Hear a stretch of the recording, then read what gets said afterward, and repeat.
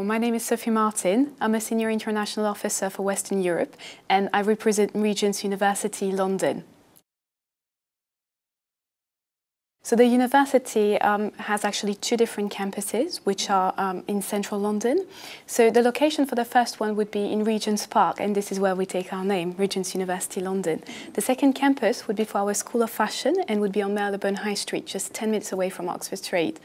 Um, the university is actually divided into different schools. We actually have uh, two different business schools where you can study languages or global management, as well as international business. We have an American college where you can study a different set of programs uh, with a major and a minor. And to give you a few examples, uh, you could be studying history, journalism, uh, international human rights. So we have quite a good mix in there. We also have an Institute of Languages. So for students who want to um, uh, progress in their English before they start on a course or for students who want to study another language. Um, we also have um, a School of Media where uh, students can study film, acting, this sort of degree program.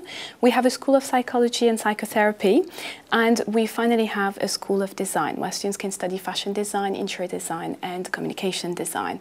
So that would be um, a general presentation to Regent's University London. It's just one application through the website or on UCAS because we're part of University UK. Uh, students can also apply to us on Common App. We have this opportunity since this year. Um, it's very easy to apply basically because either it's on UCAS and it's a common route or you would be doing everything on the website. I would suggest to students that when they apply they contact us as well so that we can give them a more follow-up on their application. Well, London is a great uh, is a great place where to live. Myself, I've studied in London, so I know what it's like to be an international student in the UK. Uh, it's a very exciting city. You have so many things to do. It's full of history. Uh, if you like eating out, well, I'm sure you won't be disappointed. There are so many things to do there.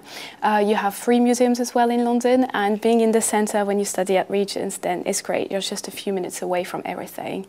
So I think any student being in London would, would like it. Yes. Mm -hmm.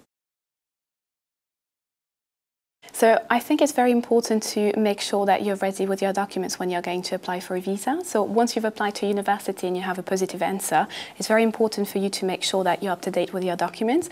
Uh, you have um, international immigration offices in all universities in the UK, so it's very important to make sure that you're in touch with them so that you know what to expect when you apply for your visa.